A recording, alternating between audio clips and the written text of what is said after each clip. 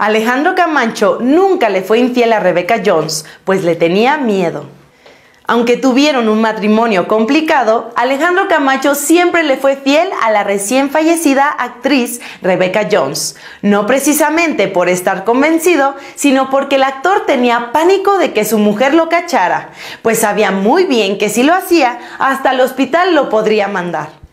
Para nadie era desconocido que la actriz Rebecca Jones era una mujer de armas tomar, de un carácter explosivo y capaz de todo si le hacían enojar. Sabiendo cómo era Jones, el propio Camacho mejor decidió serle fiel para no provocar a la ira de la esposa, hasta que se cansó de vivir con miedo y en el 2011 decidió divorciarse de ella, luego de 26 años de estar casado.